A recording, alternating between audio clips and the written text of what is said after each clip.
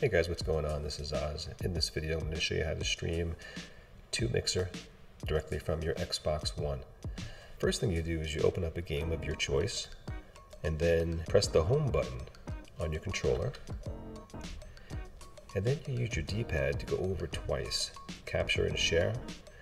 The D-pad again to go down to start broadcasting. Press A.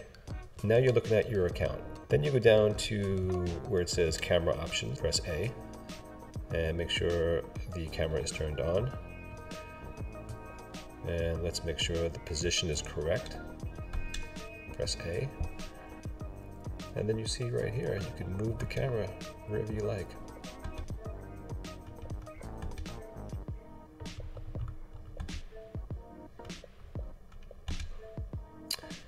And you can also zoom or pan.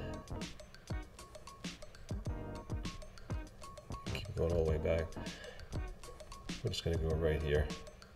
So that's how you set up the camera.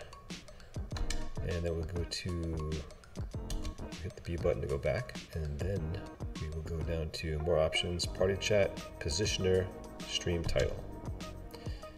And here you can change the title. You can enable party audio uh, you can enable chat, which is what you want. If you're trying to build up your viewer base, you definitely want to enable chat. Uh, move broadcast overlay top left, so that's where it is right now, top left.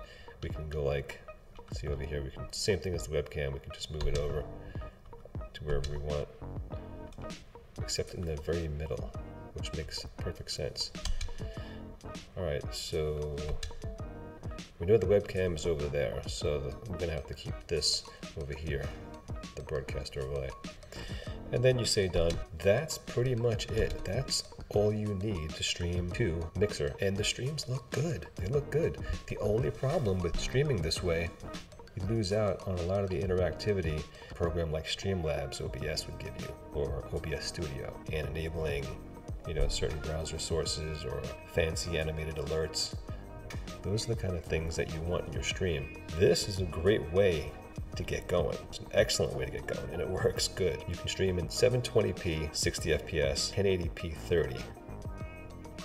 But don't quote me on that, not 100%. So that's pretty much it. If you have any questions, please post them in the comments. Uh, learn something from this video. If it helped you, please like the video and consider subscribing if you like this kind of content.